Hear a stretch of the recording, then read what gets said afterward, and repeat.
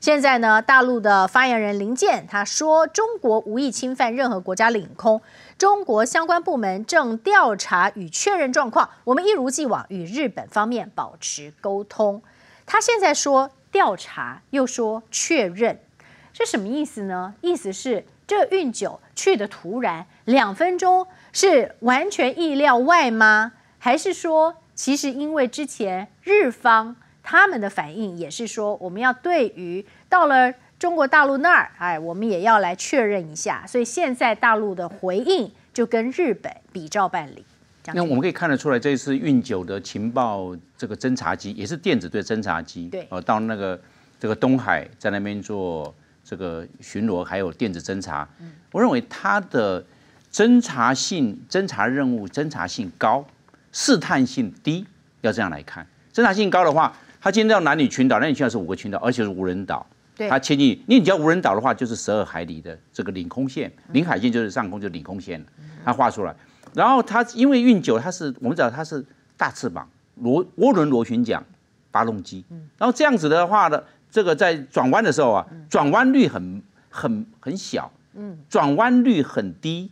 因为它它毕竟我们战斗机一压坡度一带就出来了，它它不一样，它大飞机嘛，那哪能够压然后带？它又不是战斗机，然后它进只要切进去，你这个角度进去，你这个角度进去的时候，你带出来没有办法带出来，战斗机就要带出来，但是它的运输机没有办法带，它就哎没办法转，它毕竟大转弯，那那就要两分钟就就就去掉了。所以它真的是要去做情报收集工作情报收集，然后它的所以说情报收集任务大，试探性小。那他十一点二十九分进入，十一点三十一分，两分钟差不多。如果他真的要试探，要真的要执行这个这个我们讲到的进入的话，是那没有五分钟十分钟吗？他就在里面可以在那边好整以暇，在那边做一个这个这个试探性。所以我认为他试探性其实不高，而且是侦查性的高。那侦查性不不差这两海里。我侦察两海里，跟我这个是它的侦察装备的话，一百海里都可以收到，只要你的电波信号够强，雷达信号够强，是它都可以收得到。哦，哎，还有你的语音通信够强，整个给广域的广域的勤收。哦，所以你看它，它真正脱离要到下午一点半才脱离。对对。那后呢它两个大跑马航线顺时针完毕之后，还有一个小跑马航线，整整花了一个半小时才离开。那换句话说，他在执行他的侦查任务嘛？要不然的话，他试探试探完毕，我他就离开。没有，换句话侦查性性质高，哦，哎，这个意味浓。所以他其实并没有去试试日本的底线，没有，没有是。哦，所以那个是个意外，就进去了。还有一个我们我们知道，因为解放军呢，它除了海上的军舰之外，现在空中的飞机哦，也飞的频次也非常高。嗯，那频次非常高，它现在的信由它现它的信心度已经变成扩张性。是，所以你看看它扩张性，它都已经可以跟俄罗斯联合巡航到白令海峡了。嗯嗯，我们讲的轰六轰炸机啊，所以它这个在日本的这些沿沿。沿，尤其是第一岛链的琉球群岛，沿着日本，对，它沿着这样飞，这样子飞，一飞，哎，没想到你一飞飞那么近，一贴进去，有时候有时候真的会踏到这个线。啊，踏线。那那他如果踏线一直进去，这个就是刻意的，结果他没有，两分钟就离开。离开之后，真正执行他的任务是这个跑马航线是他真的要去做的，是这个样。那现在我们可以看从那个角度来看，解放军的海军，因为因为他这个有这个是是海航哦，不是光只是空军哦，空有运九，海军有运九啊。它是海空业，我们平常看中国空军，空军，但是不要忘了，它的海航兵力很强的，很强的。所以不知道这个是空军、解放军的空军或海军吗？对，它两个轮流用。哦，运八跟运九啊，这个情报电侦机、情还有电子对抗机，还有反潜巡逻机，它要如果要实施反潜任务，那就是海军。我歼师、歼十师啦，我们都这样，我们一科目一架次多科目，不是我这一架次只是做电子侦察，其实未必，我顺便也要看一下海上有没有。这个我们讲的水下动态就是反潜，那它反潜巡逻机啊，当然也也做这些，那不是光只是收这些语音信号，它也收雷达频谱的讯号，所以它的是多功能的。那从这个角度来看的话，中国大陆的扩张性的这空中的活动，那从这次来看的话，这这只是一个量变跟质变的开始，是。啊，将来可能更多更多擦边球。那有时候这个这一次的擦边球啊，不小心就变成安打，哎。就是安打就进去两分钟，就是安打，你 本来想打打擦边球了，没想到变成一个安一垒安打。嗯嗯，在这一次的运九到了日本领空，他的看法，他说以后可能还有哦，现在是一垒安打哦。那但是呢，事实上他认为说，其实也不是故意一定要去试探啊，要去测试一下日本的底线，让日本很紧张。但是红庭会这样看吗？那红庭事实上，我们刚刚讲，大陆外交部终于在今天现在回应了。回应了这个这个说法哈之外，其实要看看台湾方面怎么也要回应这件事情啊。你看，我们这边外交部说，关于中国军机二十六号入侵日本领空，外交部强烈谴责。中国恣意侵害他国主权，破坏区域和平稳定行径。中国还伙同俄罗斯在东海、南海频繁军演，企图以武力改变现状。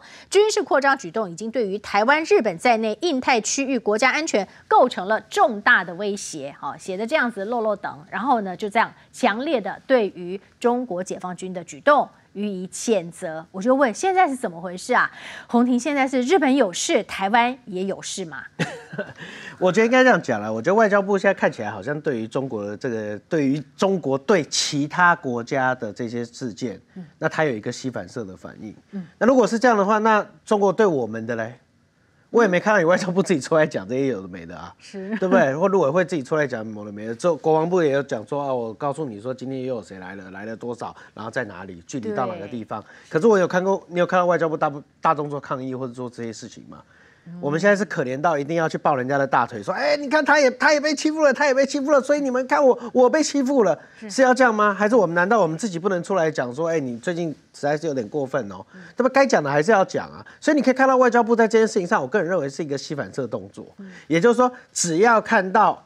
只要有外国遇到中共的这些部分的时候，我们赶快贴上去，就说：哎嘿，你看他又在野蛮了，他们也这样对我。那这样子好像把自己变小了。我们为什么不能直接自己来讲这些事情？我觉得你你这表示你就是什么？这就是双重标准嘛。我觉得这是第一点。第二点就是说，将军刚刚讲的是，我觉得将军刚刚讲的刚好就是我前一段讲的重点。嗯，也就是说，最对于日本来讲，日本最担心就是你这一次来是不小心，是故意。是试探，还是你想要常态化？对，你如果想要常态化，那我要怎么做应应？你看日本不止一次公布说，这个中国大陆的这个军机开始往领空这边走的时候，他们这个自卫队就开始飞上去了，然后然后油量油料浪费了多少钱？油料的预算多少钱？这些部分，那这个时候。这件事情就变成什么？就变成我刚才所提到谈判的筹码嘛。嗯，也就是说，所以你可以看到这里面其实比较比较特别的，就是刚才杨明跟我都提到了，就是林佳龙跟吴钊燮去美国。对。那我在猜，可能看不中国看不懂，就说：哎，吴钊燮，你找吴钊燮跟林佳龙去美国，你到底想要干嘛？嗯你是不是想要来跟我谈些什么东西？那我是不是要有一些招反制？嗯。好，那我就。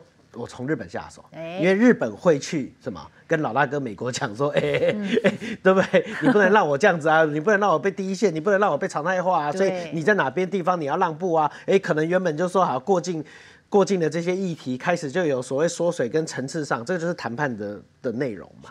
所以所以我觉得在这个地方你可以看到，就是说我们未来也可以看一下，就是说这件事情如果常态化的话，那就表示什么？表示苏立文跟王毅是没有什么。完全没有共识，也找不到一个所谓共识点的。嗯那如果这件事情慢慢的哎消消泯了，就没有这件事情再继续发生，那就可以知道，就是说大概至少在选前，整个大概的所谓的共同防御框架，或者是共同安全围篱这件事情已成，大概就比较不会有意外，我们也可以稍微放心。大家都说我变漂亮了，其实是气色好，肌肤保湿做得好，气色自然漂亮。我选择 KS 皇家呵护芦荟保湿舒缓凝胶，因为它用国际芦荟协会认证高品质的库拉索芦荟，含有大量的粘多糖体，类似于玻尿酸，可以帮助锁住皮肤水分，让肌肤长时间保持水嫩，还运用 TTS 技术增强芦荟的生物活性，修护舒缓日晒后的各种不适。KS 皇家呵护芦荟保湿舒缓凝胶，帮助您随时拥有水润肌、好气色。呵护您，呵护全家人，专属你的 KS Royal Care。